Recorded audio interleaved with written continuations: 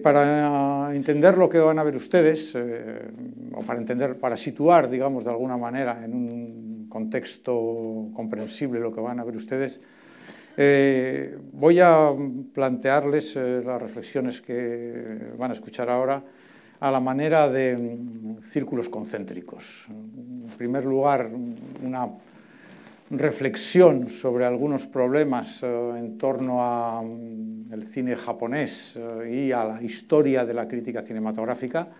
La historia del cine es no solo la historia de las películas, es también la historia de la reflexión sobre las películas, es la historia de la recepción de las películas en contextos sociales y culturales eh, distintos. Y me parece que en este caso, para mm, entender mejor lo que van a ver eh, hoy, y de alguna manera esto nos sirve también y me ahorra esa parte de la intervención, el 25 de enero, cuando si ustedes tienen, eh, eh, quieren asistir a la sesión de la presentación de Verano Precoz de Yasuhiro Ozu, eh, lo que cuente hoy sobre la manera en que la crítica occidental ha abordado el cine japonés, lo podrán dar por descontado. Ese sería el primer círculo concéntrico, me detendré en, algunos, en la manera en que eh, en Occidente se recibe a partir de un determinado momento el cine japonés y las implicaciones que eso tiene desde el punto de vista de la crítica y de la lectura que hacemos de las películas y la relación que mantenemos con las películas.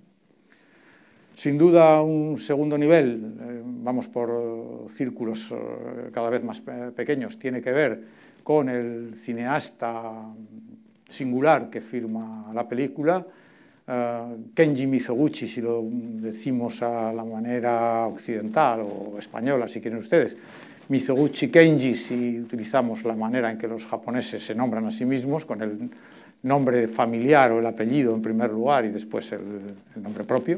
¿eh? Por eso encontrarán ustedes haber escrito eh, el nombre del cineasta de las dos maneras distintas, a la, a la japonesa, si quieren ustedes, o a la occidental, no en todos los países occidentales, porque en Hungría, por ejemplo, los nombres, eh, también el apellido precede siempre al, nombre propio. ¿eh? Tercer eh, nivel, después de algunas reflexiones en torno al cine de Mizoguchi y también el, lugar que Mizoguchi ocupa en un cierto imaginario de la crítica occidental, sería, obviamente, vamos reduciendo cada vez más el círculo, unas reflexiones en torno a la película concreta que nos ocupa, que es una película, por una parte, extraordinariamente singular, extraordinariamente particular y que tiene sus eh, virtudes eh, particulares y ocupa un lugar extraordinariamente destacado en la obra de un cineasta que no tiene solo una película destacada, por más que, y esto ya lo, comentaré luego, una parte importantísima de su obra ha desaparecido para siempre. ¿eh? Todo, su cine mudo prácticamente apenas, apenas se conserva. Bien, eh, primer círculo. Estos son como los círculos del infierno, si quieren ustedes, de, de Dante. Círculo del, que llamaríamos el cine japonés.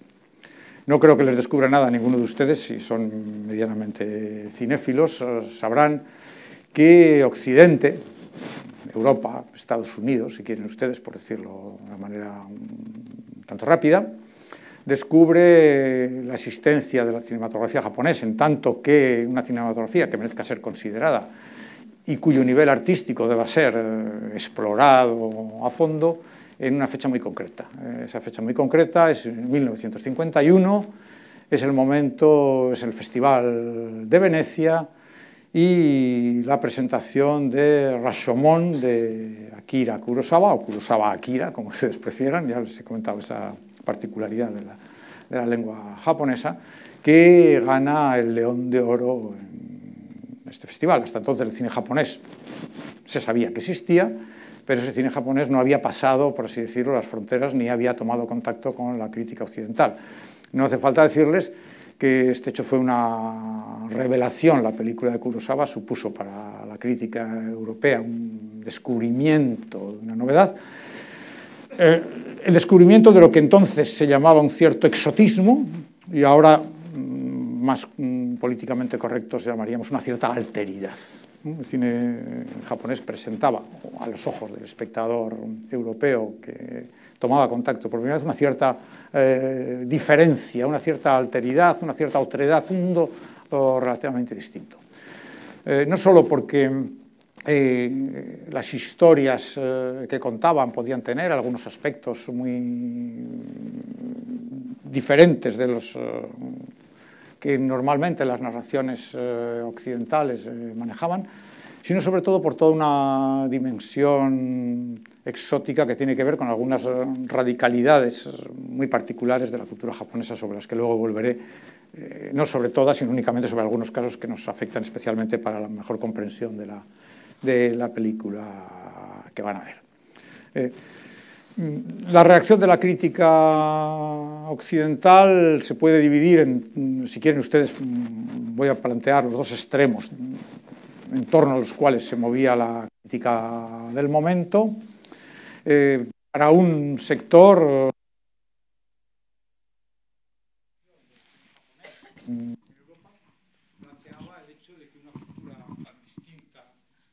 de que una cultura tan distinta, tan diferente, que maneja parámetros eh, culturales, estéticos eh, y sociológicos tan diversos al mundo cotidiano de, de lo que llamamos eh, la civilización occidental, planteaba serios eh, problemas para comprensión. Eh, no es improbable, pensaba esta crítica, que cuando evaluamos la película de Kurosawa lo que estemos evaluando sea un objeto que consideramos extraordinariamente exótico, pero del cual se nos escapan, por razones que acabo de enumerar, prácticamente buena parte de sus determinaciones.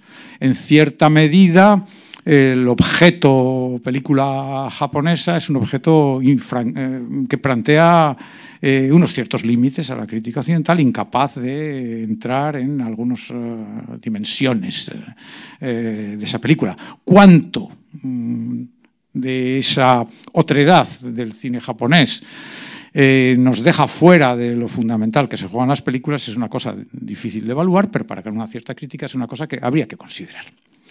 En el otro lado está, por así decirlo, la crítica más optimista, si quieren ustedes decirlo, que encarna muy bien en la lectura que eh, André Bassin hace, por ejemplo, de las primeras películas eh, de Kurosawa, en las primeras críticas que aparecen, por ejemplo, en los calles de cinema en los años 50, cuando Rasomón se estrena comercialmente en Francia, cuando llegan también, Rasomón no es más que la primera película que abre el camino, llegan eh, películas incluso de eh, cineastas como Mikio Naruse o algunos otros cineastas de segunda y tercera fila japoneses que se estrenan en Francia.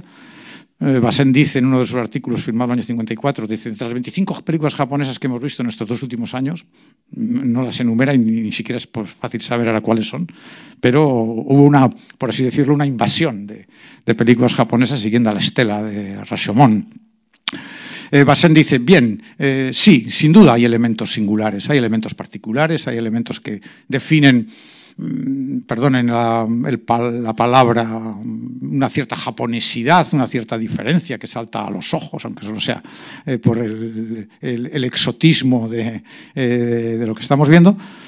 Pero es imposible negar, dice Basen, que en el fondo eh, las historias que cuentan las películas japonesas son historias universales. En el fondo hay un patrimonio común que traspasa todas las singularidades, las particularidades y que hace que nosotros eh, occidentales, a sabiendas de que hay cosas que probablemente no podemos evaluar del todo, no se preocupen ustedes, no se van a perder nada esencial de estas películas. Eh, Jacques Rivet, que por aquellos años era uno de los eh, brazos derechos de, de Bassin en, en, en Calles de Cinema, lo formulará de otra manera, eh, de otra manera. En un artículo, creo que es del año 58, que, a propósito precisamente hablando de Mizoguchi. Se llama, el, el artículo es, creo recordar, que se llama Mizoguchi visto desde aquí. Y mm, dice algunos eh, colegas sostienen que tendríamos que aprender el japonés para entender el cine de Mizoguchi.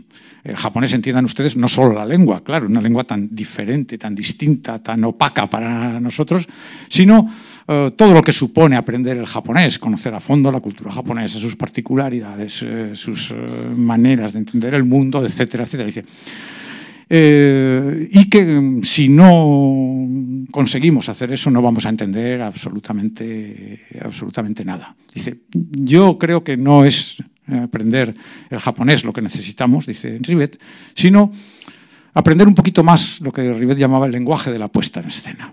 Mire, el lenguaje de la puesta en escena hacia arriba es un lenguaje universal, eh, compartido por eh, todos los cineastas, con independencia de las determinaciones culturales. Sin duda, esas determinaciones culturales particulares existen, pero eh, si de algo tenemos que tomar lecciones como espectadores es de puesta en escena y no tanto de la lengua en la que esas las películas están habladas. Como ven, dos posiciones suficientemente contrapuestas para que en medio quepan todo un conjunto de variantes, de grises, digamos, de grises entre el blanco y el negro que estas dos posiciones eh, eh, colocan.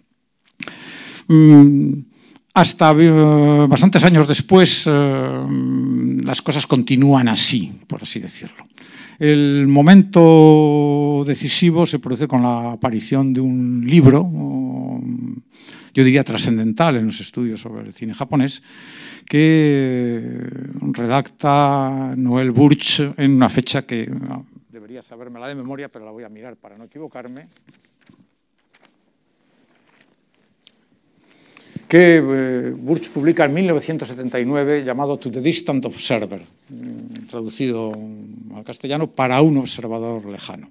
Y es una evaluación global del cine japonés con atención muy particular a las que son consideradas sus grandes figuras, eh, sin duda Mizoguchi, Ozu, Naruse, Kinugasa, una serie de cineastas de primer nivel, pero también con una muy importante reflexión sobre el cine, sobre el cine japonés eh, en general.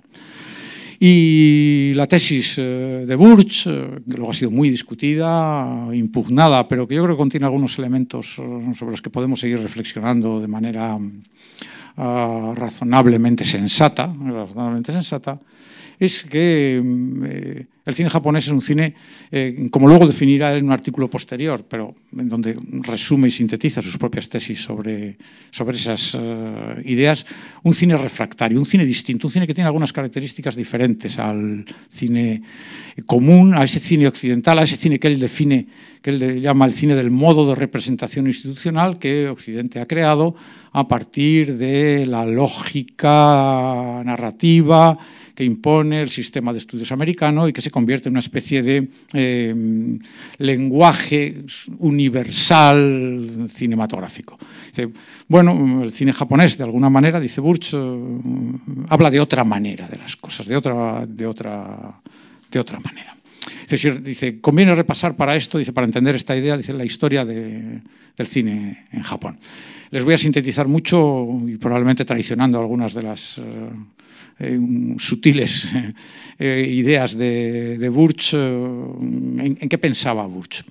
Pues pensaba que mm, el cine japonés era el único cine fuera de Occidente, fuera de Occidente, que se había construido al margen, habría que ver esto con mucho más detalle, de lo que llamaba él el control de las inversiones y de las técnicas eh, occidentales. Claro que el cine japonés, eh, los operadores Limier eh, llegaron a Tokio en 1897 y filmaron aquello y comienza, el cine japonés comienza prácticamente al mismo tiempo que todos los cines. Pero Japón ha sido siempre, decía Burch, una excepción a los países eh, radicalmente colonizados, eh, como son todos los países probablemente, eh, y, probablemente incluida China, de Oriente, por su especial habilidad en mantener, decía, una especie de difícil equilibrio entre lo que llamaba una política de apertura al exterior y una política de, asimilación de las técnicas exteriores y eso combinado con el mantenimiento de tradiciones ancestrales que se mantienen. Bueno, eh, la institución del cine, dice Burch, tal y como se va definiendo progresivamente en Occidente, el sistema de representación clásico del cine tradicional, eso que algunos atribuyen al, al, genio singular de David Ward Griffith, ahora ya sabemos que Griffith no es más que el nombre propio que ponemos a una dimensión colectiva, sin que esto minimice nada en absoluto el genio de Griffith, que probablemente no está tanto en sus descubrimientos, por así decirlo, de, vinculados con el lenguaje cinematográfico, sino con su extraordinaria capacidad poética. Griffith es uno de los grandes poetas eh, del cine. Este es, otro, este, es otro, este es otro tema. Digamos que Para la llegada del sonido, dice Burch, eh, ese lenguaje, ese esperanto cinematográfico, que va a ser eso que nosotros llamamos el lenguaje del cine sin saber muy bien de qué estamos hablando, eh, estará perfectamente institucionalizado. Dice, en Japón, por ejemplo, las cosas son un poquito distintas. Dice, son un poquito distintas. Por ejemplo, Japón tarda mucho, bastante tiempo, en incorporarse al sonoro. ¿Y por qué tarda tanto en incorporarse al sonoro? Dice, bueno, pues porque el cine japonés mantenía una serie de prácticas, eh, voy a hacer referencia únicamente a una, que mm, desaparecen de manera radical en Europa y en Estados Unidos cuando llega el sonoro, pero que cuestan mucho desarraigar de la práctica japonesa y esas prácticas subsisten porque marcan, digamos, alguna diferencia singular eh, que el público, al que el público estaba acostumbrado. Como saben ustedes, eh, en todo el cine mudo, el cine mudo nunca fue mudo realmente, es decir, lo único que no había es que las películas eh, no incorporaban en la banda sonora, por así decirlo, en, en el rollo de celuloide el sonido, pero todas las películas estaban acompañadas o bien de música, muchas veces en directo, desde una modesta pianola hasta una gigantesca orquesta sinfónica en algunos casos, o de eso que en España se llamó el explicador, ¿eh? y mm, bueno, el comentarista, una persona que colocada junto a la pantalla comentaba para el público, descifraba, si quieren ustedes, eh, le ayudaba al público a comprender lo que estaban viendo. En Japón esa institución eh, tiene un nombre, eh, el nombre que dan al explicador en jamón es Benshi, Benshi y los Benshis eh, eran incluso, eso está bien documentado, incluso más populares que los actores y las actrices del cine. En el Star System japonés, el Benshi ocupaba un lugar importante. La gente iba a determinados cines de Tokio a escuchar a determinados Benshis que comentaban la película que se estaba produciendo. De hecho, también está bien documentado que cuando mm, comienza a implantarse el sonoro hay una ah, huelga de benchis eh, oponiéndose a la implantación del sonoro, no solo porque ven eh, peligrar su puesto de trabajo, y además tiene un soporte popular importante que la gente quiere que eso continúe. Eh Burch de aquí deduce una idea que probablemente es un poco demasiado arriesgada, pero que es interesante. Dice, bueno, esa especie de disociación que existe en el cine japonés entre un señor que me cuenta la historia que estoy viendo y las imágenes es interesante. Dice, ¿por qué es interesante? Porque los cineastas ah, que sabían que su película iba a ser relatada por una persona en vivo, podían desentenderse de, de contar la historia, por así decirlo. Es decir, abandonaban el discurso narrativo en manos de ese explicador y las imágenes podían tener eh, una dimensión eh, distinta, diferente, embarcarse por otro lado. Bueno, eh, no sé si esto es así, en todos los casos no lo es, pero es mm, como mínimo interesante de tener, de tener en cuenta.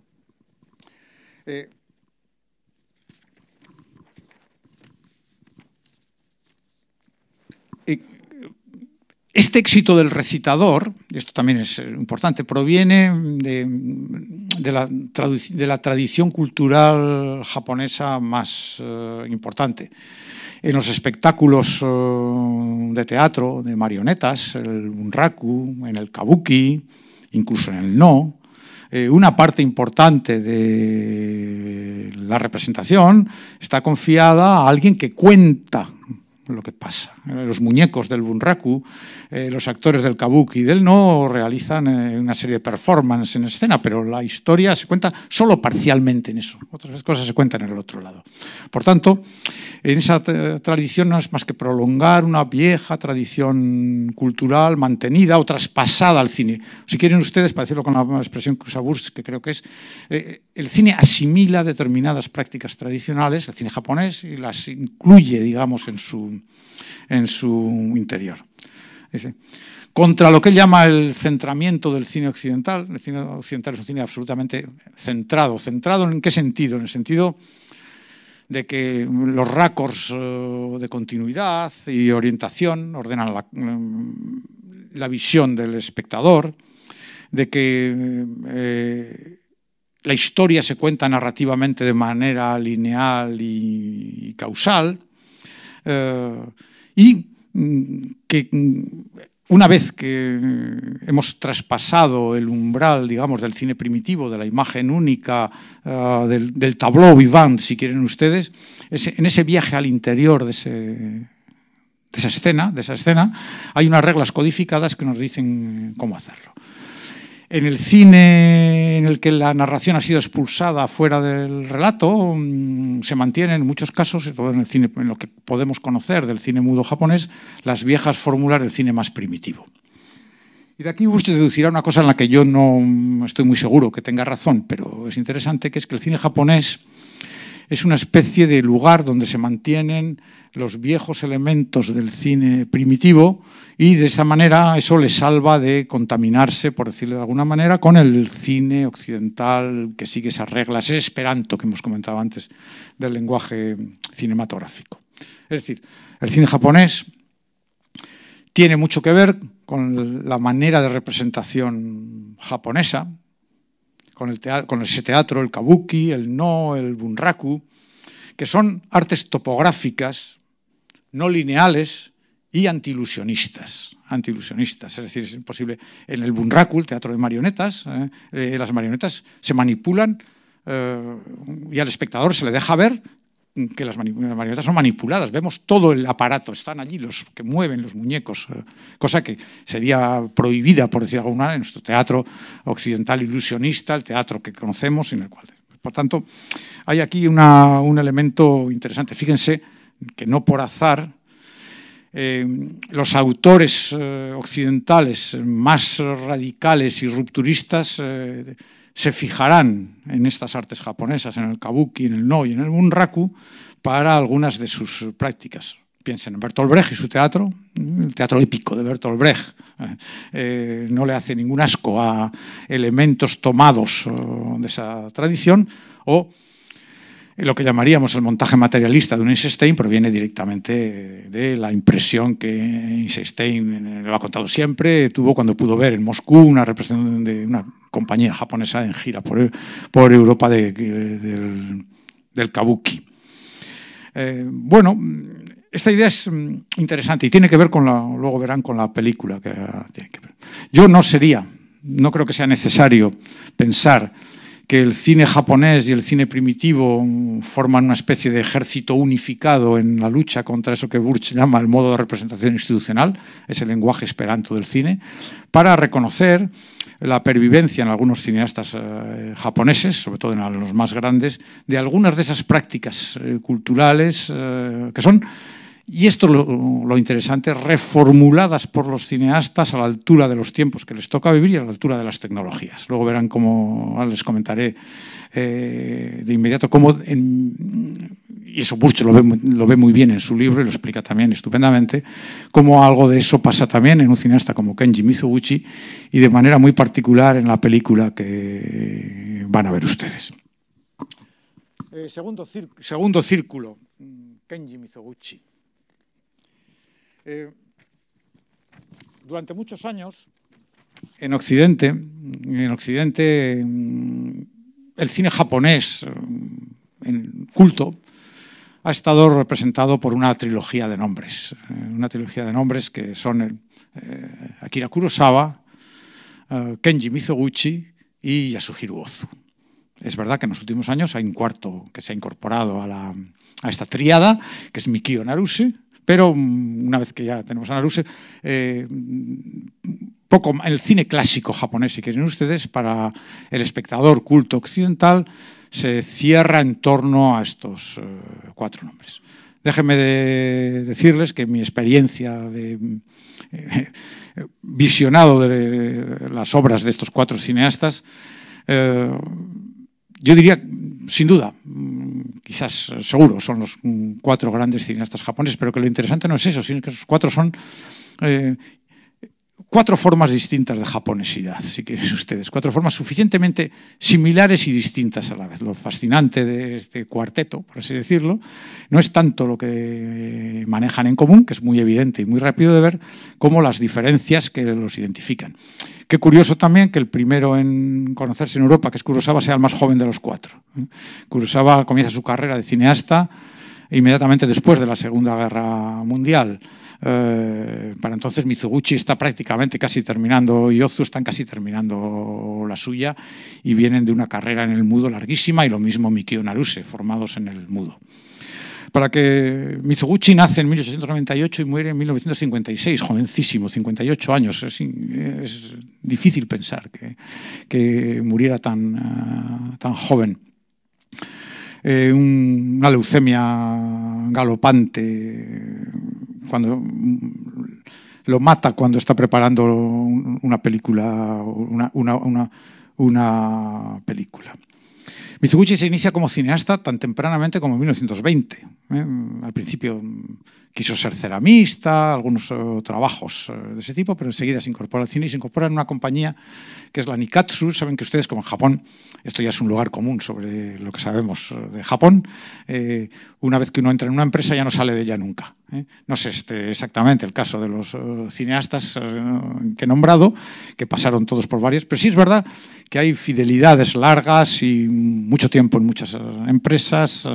Mm, durante mucho tiempo, durante prácticamente 15 años, hasta 1932, 12 años, Mizoguchi rueda nada menos que 50 películas para la Nikatsu. Lo terrible es que de esas solo conservamos dos y medio, dos y media.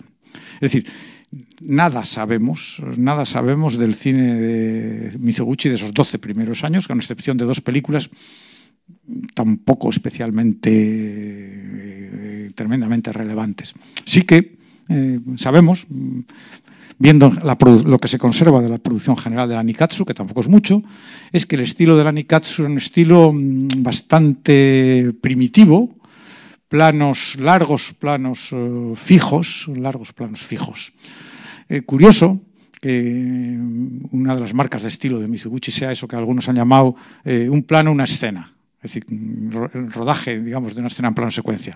no es exactamente así. Mizuguchi nunca, casi nunca hay eh, esa correspondencia entre un plano y una escena, hay lo que yo llamaría de una manera más matizada planos sostenidos y planos largos en el interior de escenas en las que a veces encontramos más, eh, más planos.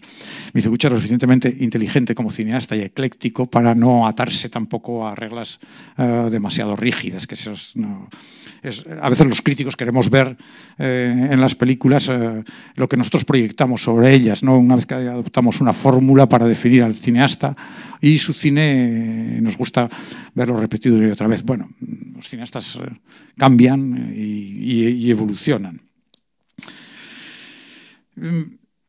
En el 39, Mizoguchi pasa a Sochiku, otra de las grandes compañías. Sochiku será, por ejemplo, la gran compañía de Ozu. Ozu trabajará prácticamente toda su vida para Sochiku, ¿eh?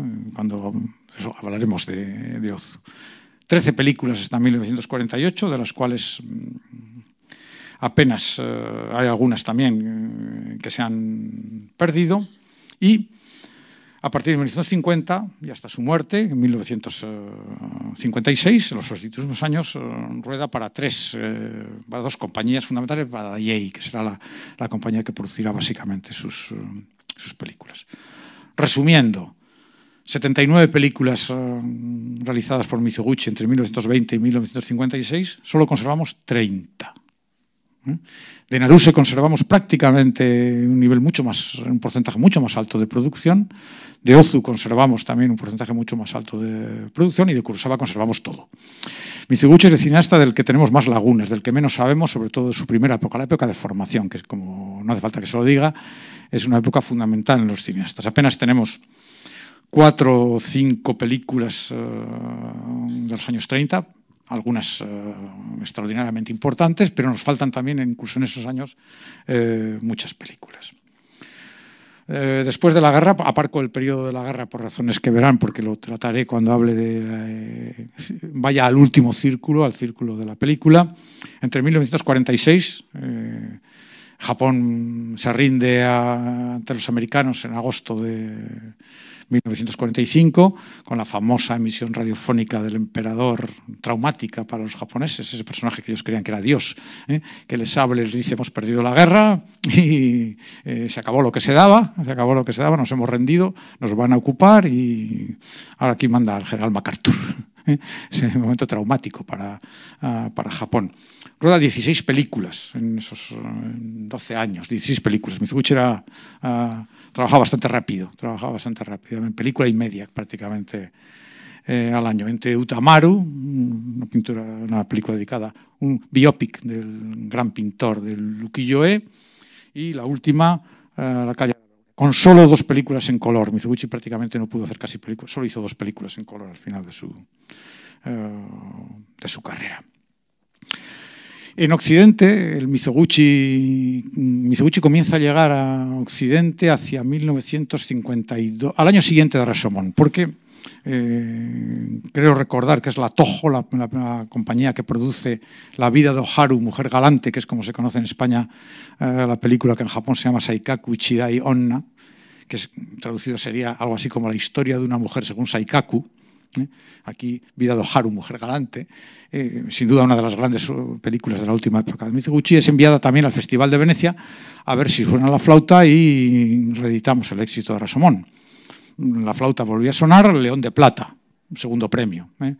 Cuando uno compara la película de Mizoguchi, ni siquiera me acuerdo de cuál es la que ganó el León de, Oro, pero todo el mundo nos acordamos de Oharu, uh, Mujer Galante, como probablemente la mejor película, ahora vista retrospectivamente del festival inmediatamente se estrena en Francia y la crítica francesa, sobre todo los cahiers de cinema, no André Bazin, ¿eh? no André Bazin que eh, piensa que Kurosawa es un cineasta más interesante que Mizoguchi, déjenme decir con todo respeto que creo que se equivoca radicalmente, que se equivocaba radicalmente, lo digo con máximo respeto al que yo considero que es el, mejor crítico que jamás ha existido, la persona que más, eh, que mejor ha sabido ver eh, muchos cines.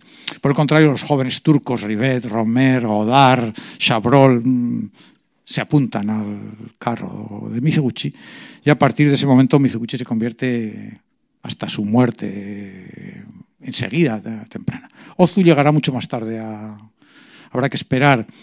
Prácticamente Ozu muere en el 63, en el 63 y prácticamente el cine de Ozu no se conoce en Occidente hasta um, muy poquito antes de su muerte. En eso los españoles no tenemos tanto retraso como tenemos en otros casos. Con Mizoguchi tuvimos mucho más retraso. Digo, porque en el 67 Televisión Española pasó un, en Cineclub, en la segunda cadena, un pequeño ciclo de Ozu en blanco y negro. Incluso dos de las películas del ciclo eran originalmente en color, pero pasaban en blanco y negro porque la, la televisión era en blanco y negro. Nos costó más ver Mizoguchi, aunque en el año 65 Filmoteca Nacional había dado un pequeño ciclo de seis películas también de Mizoguchi, de la última época, y que habían dado lugar a, a, un, a algunas reflexiones críticas de un cierto interés en las dos revistas uh, que entonces se disputaban, digamos, el panorama crítico español, que es Film Ideal de una parte y luego y nuestro cine. En nuestro cine, por ejemplo, hay un célebre, justamente célebre texto de, de Víctor Erice, en el cual, si ustedes lo leen atentamente, mmm, podrán encontrar algunos elementos que luego reaparecerán en, una película como El espíritu de la colmena. ¿eh? Es, es, espléndidamente eh, traducidos, por así decirlo, y replanteados a partir de su experiencia del visionado de, esas pocas películas de Mizoguchi. No, necesariamente, además, las mejores, ¿eh? las que eligieron para ese, eh, para ese ciclo. El cine de Mizoguchi tiene algunas uh, características uh, personales, uh, yo diría personales muy significativas. Eh, lo vio muy bien también Noel Burch, la manera en la que Mizoguchi hace algo que yo creo que es especialmente fascinante. Lo hace también Kurosawa, de otra manera distinta, pero aquí no... ¿eh? Y lo hará Ozu también, con otros aspectos de la cultura japonesa. Es decir, Mizoguchi es un cineasta eh, que conoce perfectamente bien el cine occidental, eh, que lo ha frecuentado, lo ha visto, y sin embargo, y sin embargo su cine tiene algunos elementos maestros, um, sin los cuales no se entendería, que provienen directamente de eh, la frecuentación con determinadas artes pictóricas. El cine, como saben ustedes, es un arte plástico. No solo plástico, claro, es un arte narrativo también y, muchas más cosas, pero es también un arte fundamentalmente plástico. Eh, antes he hablado de Mizoguchi, una escena, un plano, que es como lo define la crítica. ¿Qué quiere decir eso? Quiere decir que Mizoguchi trabajaba eso que se llama el plano secuencia, que es una cosa también... El concepto de plano secuencia es un concepto paraguas, plano secuencia, como el, los planos secuencia de Orson Welles. poco tienen que ver con los planos secuencia de Kenji Mizoguchi y menos que ver con los planos secuencia, siguen por citar solo tres grandes, eh, de Carl Theodor Dreyer. Pero como los críticos son muy cómodos, pues hablamos solo de una sola cosa, plano secuencia. Bueno. Eh, el plano Mizoguchi rueda muchas escenas, van a ver aquí ustedes algunos, uh, un par de extraordinarios uh, momentos en la película resueltos a través de ese juego de una escena un plano, o si quieren, de un plano sostenido, eh, largo, en el cual eh, el, desplazamiento de la cámara, la distancia que la cámara mantiene con respecto a los acontecimientos, eh, eh, forman parte, digamos, de lo que sería el estilo cinematográfico propio de, de Mizoguchi. ¿Cuáles son las características básicas de, un, de esos planos sostenidos o planos secuencias, llámale como quieran, que Mizoguchi utiliza, que se convierten en una de sus mm, grandes marcas de, de estilo? Eh, se los enumero rápidamente, simplemente para que cuando vean la película observen alguna de estas eh, cosas.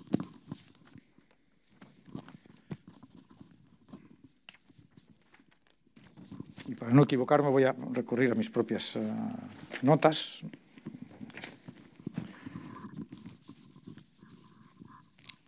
Lo primero es que Mizoguchi utiliza algo que eh, eh, incluso en, películas, en películas de los años 30, un poco como, lo hacía también Jean Renoir, adelantándose a um, la profundidad de campo tal y como la definió Orson Welles a partir de sus dos películas eh, iniciales de eh, Ciudadano Kane y The Magnificent Ambersons. La profundidad de campo en Renoir la gran ilusión, pero también en otras de las grandes películas de los años 30 ya es un elemento utilizado, es decir, eh, está en foco tanto lo que está en primer término como lo que está al fondo, lo cual le permite al cineasta gestionar varias acciones eh, simultáneas sin tener que cortar el plano, simplemente dejando al espectador que haga vagar su mirada por el primer término, pero también por el fondo de la, de la escena. En segundo lugar, la cámara móvil. También, esto también, Renoir, eh, hablamos de la cámara líquida, dije, utilicé el otro día la expresión de Antonio del Amo. Bueno, la cámara de Mizoguchi es una cámara en, per, en permanente eh, movimiento también, que, eh, eh, verán, adopta además una fórmula muy japonesa, pero les explicaré inmediatamente. En tercer lugar, el punto de vista elevado sobre los acontecimientos. Tampoco esto es azaroso, es decir, la cámara de Mizoguchi está siempre, eh, no está exactamente a la altura de la vista del hombre, como se solía decir, me acuerdo yo en mi época, cuando decía, Howard Hawks filma con la cámara siempre a la, altura, del, hombre. Bueno, pues no, Mizoguchi casi siempre coloca, para observar la escena, eh, su punto de vista es ligeramente elevado sobre la escena, una especie de picado no demasiado marcado, pero suficientemente visible, por así decirlo. Eh, además, Mizoguchi es un cineasta pudoroso. Buena parte de estos planos, estos planos en movimiento, estos planos en picado, estos planos con la cámara móvil, estos son planos uh, distantes, en que la cámara se mantiene a una distancia de los acontecimientos. Eh, a veces lo que está pasando en el plano es extraordinariamente intenso. Y sin embargo, Mizoguchi eh, no se acerca a la escena. Es decir, deja entre eh, la intensidad de lo que está pasando y nuestra mirada de espectador una especie de hiato, una especie de distancia pudorosa, por así decirlo. No mantenernos, uh, no cargar. La, lo que vemos es a veces muy duro, y sin embargo lo vemos a una cierta distancia, mantengamos una, una cierta... Uh, hay cosas, dicen algunos, que no se pueden mostrar o que no deben mostrarse de manera subrayada, melodramática. Un primer plano aquí, en estos casos tan intensos, sería, por el contrario, o podría ser algo eh, contraproducente. Y por último, y por último, eh, Claro, si la cámara se mueve, se produce de manera automática el diálogo entre lo que llamaríamos el campo y el fuera de campo. Mm, mientras la cámara se desplaza, elementos que antes hemos visto, ahora dejamos de verlos y por el contrario, elementos nuevos entran en campo. Mm, cosas que mm, no sabíamos que estaban ahí, descubrimos que estaban ahí. Cosas que nos hubiera gustado ver, la cámara las abandona y las deja y ya no nos informa sobre ello. Bueno, todo este conjunto de elementos, todo este conjunto de elementos, lo fascinante es que provienen de la tradición pictórica japonesa. Eh, no sé si ustedes conocen eh, la tradición de lo que se llama en Japón el emakimono. ¿Qué es esto del emakimono? El emakimono son unos rollos en seda o papel que generalmente se enrollaban se guardaban en un estuche y que se desplegaban. Y cuando se desplegaban esos rollos iban apareciendo escenas sucesivas de un relato, escenas sucesivas de un relato. De tal manera, de tal manera como los japoneses además no trabajan o no trabajaban la pintura japonesa, eh, obviaba la perspectiva artificial con un punto de vista unificado y un punto de fuga sobre las imágenes, eh, eh, y utilizaban lo que llamaríamos la, perspectiva ortogonal, que es un poco, si ustedes han visto planos de arquitectos, los arquitectos construyen, digamos, los planos de sus edificios con esa perspectiva ortogonal, es decir, nos daban a ver, y además los japoneses reflejan las escenas desde un punto de vista elevado también, ¿eh? para poder ver, digamos, la profundidad de la escena. Todos esos elementos del emakimono, del scroll shot que llamaba, ¿eh?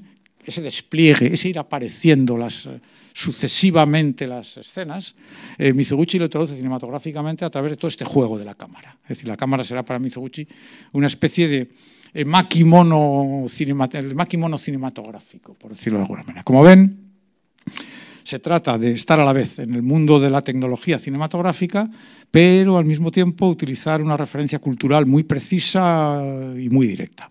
Para que les quede claro, atentos al último plano de la primera parte de la película que van a ver hoy. Uno de los, mm, yo diría, más hermosos planos eh, jamás filmados. Es un momento clave en la película. El protagonista, Oishi, no sé si ustedes han leído el resumen de la película, si no, no pasa nada, porque esto no, aquí no... Eh, hay cosas que hay que contar. ¿eh? Eh, que está maquinando la venganza, que es la que su señor ha tenido que hacerse el seppuku por cuenta de el maltrato al que le ha sometido otro noble y ha sido condenado a hacerse el harakiri y los, sus leales eh, servidores, que encima han sido expulsados y reducidos a la mendicidad, casi convertidos en ronin. Eh, se conozca algo de la cultura japonesa en que el ronin es el samurái que ha perdido al amo y no tiene a quién servir. Y no tiene a quién servir. Han decidido tomarse la, la justicia, pero claro, eso no es fácil hacerlo. Maquinan para eso.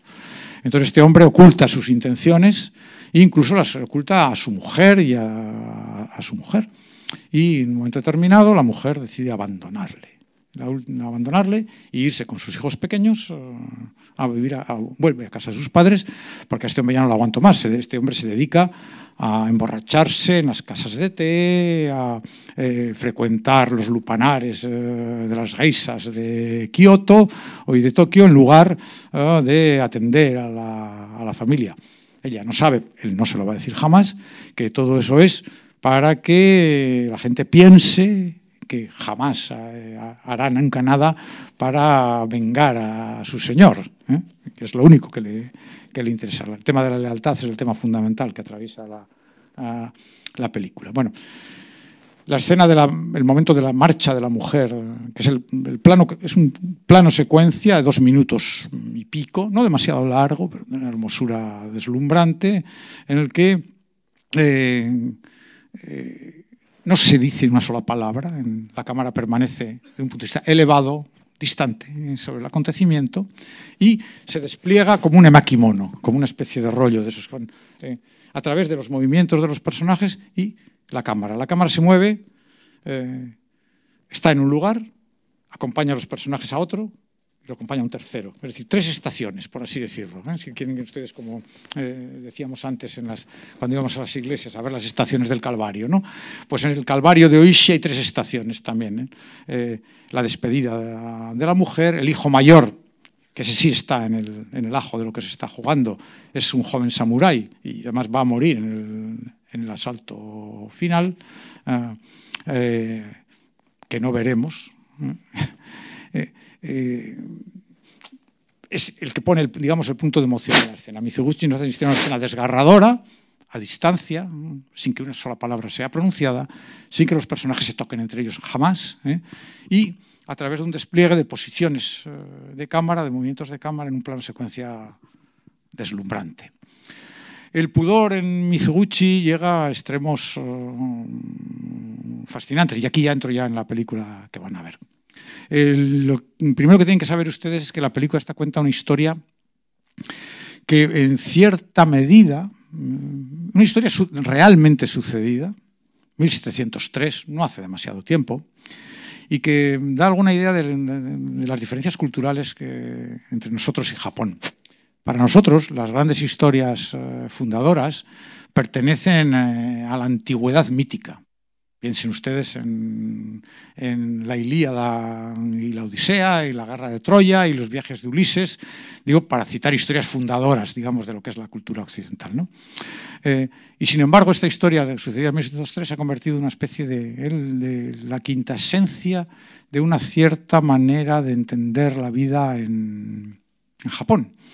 Lo que cuenta no es más que una historia de venganza y fidelidad, es decir, alguien es humillado por otra persona y la ataca, eso le cuesta la condena a hacerse el harakiri porque ha incumplido las normas de cortesía que deben regir en el palacio del shogun, era el, el gran eh, poder en Japón, el emperador no contaba nada, y su casa es disuelta, sus samuráis eh, despedidos, por así decirlo, y reducido al oprobio y a la vergüenza.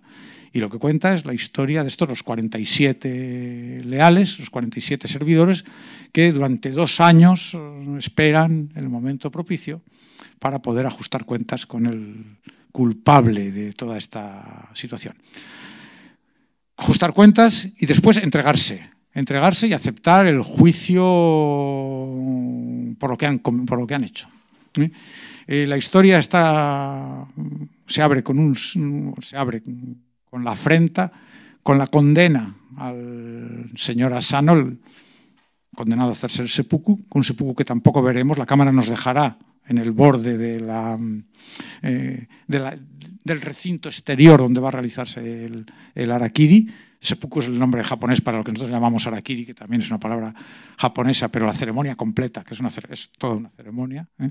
de, eh, no, podremos, no se nos mostrará lo que, lo que vemos de la misma manera que al final, y la película terminará con el seppuku al que son condenados. Bueno, son condenados, mejor dicho, no, ellos lo viven como una satisfacción. Eh, son condenados a muerte, pero se les permite una muerte honrosa. La muerte honrosa es el suicidio mm, por desentrañamiento. El seppuku es una muerte extremadamente dolorosa, pero que para el la cultura samurái era la única muerte razonable que no sea la muerte en combate, ¿eh? por, así decir, por así decirlo. ¿no? Bueno, evidentemente para nosotros es incomprensible, como es incomprensible, pero esta tradición forma parte, por ejemplo, los kamikazes. ¿eh? Es difícil entender algo como eso que sucedía durante la Segunda Guerra Mundial, ¿no? cuando esos jóvenes eh, de apenas 18 19 años se estrellaban con sus aviones contra los eh, barcos eh, norteamericanos en plena Segunda Guerra Mundial, después de haber escrito una carta a sus padres en las que les agradecían eh, la felicidad que les habían dado durante esos 18 años que habían, 19 años que habían, que habían vivido y que supieran que estuvieran tranquilos, que sabían que morían por Japón y por el emperador. Y por, para entender algunas de las cosas que pasan aquí tienen que saber una cosa. En Japón el yo es siempre algo subordinado al nosotros. En Japón yo prácticamente eh, está anestesiado, por así decirlo, y es por el contrario el nosotros. Es verdad que todo eso está cambiando mucho, ha cambiado mucho en los últimos años, pero la película esta de Mizuguchi refleja, por decir de alguna manera, esa, esa escena. Bueno, o otra escena que, de la primera parte que me, me gustaría que vieran ustedes, cuando Lord Asano es condenado al seppuku por esa infracción a la cortesía, de, mm, eh, a la ceremonia que debe mantenerse en el palacio del, shogun. Eh, ¿Qué hace Mizoguchi? Pues Mizoguchi nos hace asistir no al seppuku, sino al corte de pelo de la mujer de Asano. Es decir, eh, mientras en la banda sonora suenan las campanas a muerto, que acompañan el ritual que se está celebrando en un palacio cercano, ¿eh? la mujer eh, ejecuta otro ritual, que es el corte de pelo, su larguísima cabellera, ¿eh? aquello que la define, digamos, como noble señora, se corta el pelo. Mizuguchi sustituye una cosa por la otra. Porque, y esto es lo interesante, esta historia de violencia, digamos, eh, eh, rehuye radicalmente las historias de violencia. Mizoguchi, cuando le encargaron la película, la película es una película de propaganda, ¿eh? no, se engañen, es una película encargada por el Ministerio de, eh, de Información. Hay que saber que Japón, la película se rueda en 1941 y 42, 1941-42. Japón está desde 1931, ha invadido Manchuria y está embarcado en una importante guerra imperialista para conseguir espacio vital en el continente. En el 37 eh, ha vuelto a declarar la guerra a China y, cuando se realiza esta película se llevan eh, cuatro años de guerra en China en pleno rodaje de la película, en diciembre del 41, Japón tomará la decisión que va a acabar con, precisamente con sus sueños imperiales, que es atacar Pearl Harbor ¿eh? y enfrentarse a la potencia americana. La película se rueda en ese contexto, por eso la película ha sido muchas veces acusada de película de propaganda. Todo el mundo sabe que Mizoguchi era alguien de mm, simpatías izquierdistas, pero también, y algunos de sus... Mm, eh, de sus colaboradores lo han explicado sin ningún reparo, eh, estaba dispuesto a sacrificarlo todo por eh, poder hacer el cine que quería hacer. y esta película eh, forma parte de... un... Eso sí, poniendo sus condiciones. ¿Y cuáles son sus condiciones? Las condiciones que puso fueron dos. Yo no soy bueno, dijo, rodando escenas espectaculares y de batallas y de sables, eso que lo haga otro. Mi película no va a tener eh, las escenas climáticas de la historia, la escena de la venganza, por ejemplo, el asalto al palacio del malvado, del felón y el combate que está en todas las miles de versiones que existen sobre esta historia de los 47 Ronins en, en Japón, eso yo no lo voy a rodar. Eh, fascinante escena. Eh, la viuda del señor que se ha hecho el seppuku al comienzo de la primera parte, recibe a un emisario de Oishi, del chambelán, que viene y le cuenta la historia. Y entonces verbalmente se le cuentan a ella y nos lo cuentan a nosotros el combate, lo que ha pasado y cómo ha resuelto. Ni una sola gota de sangre. La última escena, asistimos a, a los 47, al seppuku colectivo de los 47, uno a uno, uno a uno, una voz en off les va llamando y van incorporándose hasta que el último, el jefe de todos, Oishi, el protagonista, uh, afronta también la, la, situación final. Esa es eh, la condición que puso Mizoguchi. Y luego hacerla con una, adaptar una versión kabuki de la obra y poder utilizar a los actores eh, que llevaban años y años trabajando, digamos, esa obra en los escenarios. ¿no? Es decir, para darle eh, lo que llamaríamos eh, más veracidad, si se quiere. Bueno, deben saber, si ustedes ven la, bibliografía que, que he añadido, al, que supongo que estará a disposición en la página web, verán que hay unos, eh, una serie de textos que hacen referencia a, al cine de Mizoguchi, pero hay tres, eh, me he permitido poner tres, de los cuales dos sobre todo son especialmente importantes, que tienen que ver con la historia que, van a ver. Repito, porque es una historia nacional, por así decirlo, es una historia que forma parte de, eh, del corazón de una cierta manera de entender la cultura en Japón, la cultura del sacrificio, la cultura de la lealtad. Sobre esto se podría discutir mucho cuál es el sentido de estas cosas, pero así funciona. Y obviamente, si quieren ustedes leer una versión rápida, extraordinaria y literaria, es eh, alguien como Jorge Luis Borges, no se privó de, de, incluir esta historia, la historia de los 47 Ronins, en uno de sus libros más famosos, La Historia Universal de la Infamia. ¿Eh? en Historia Universal de la Infamia, uno de los capítulos está dedicado a la historia de los 47 Ronins, como historia, digamos, ejemplar, si quieren ustedes. Y luego hay una referencia a una novela japonesa del siglo XIX, traducida al castellano recientemente, bueno, se tradujo en 1900, eh, tan temprano como en 1910, pero reeditada ahora en la benemérita mm, editorial Satori de Gijón, que está dedicada a publicar grandes clásicos y, también escritores modernos de la literatura japonesa, traducidos directamente del japonés, porque generalmente hasta ahora lo que hemos leído de literatura japonesa casi todo venía de traducciones indirectas del inglés, del francés, incluso del, del alemán, y En esa novela incluye en la parte final un apéndice eh, realizado por Jesús Palacios, estupendo apéndice, en el cual se recoge la historia cinematográfica de los 47 Ronins, porque hay bueno, una veintena, una treintena. Solo en los años, en los 20 primeros años del cine japonés se rodaron más de, 20, más de 30 versiones de esta, de esta historia que van a ver ahora. Creo que no es eh, exagerado decir que la película que van a ver es probablemente la mejor de todas eh, esas versiones. Incluso hay una versión americana, 2013, El último samurái, eh, Keanu Reeves. Una versión libérrima, si quieren ustedes, pero es la, historia que cuentan es la que, la que van a ver ahora. Por tanto, una de las marcas mm, del film de Mizoguchi es eh, la renuncia a la espectacularidad y la concentración en el drama interior. Es decir, aquí eh, lo que importa es lo que pasa por dentro, no las peleas de katanas. no verán ni una, ni una, solo verán desenfundar una katana en la escena durante un segundo, durante un segundo en la escena que da lugar al, al incidente del cual nace la película. Cuatro horas de meditación ¿eh?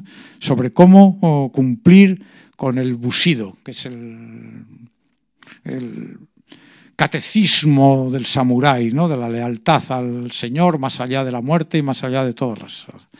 Es evidente que esto a nosotros nos puede producir una extraordinaria dificultad de, comprensión, pero la belleza con la que Mizoguchi pone en escena estas uh, situaciones, verán ustedes, es uh, realmente eh, admirable.